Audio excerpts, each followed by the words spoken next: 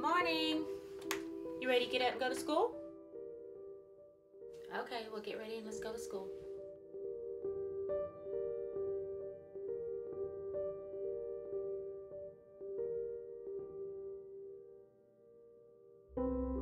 The words that you say can follow others around.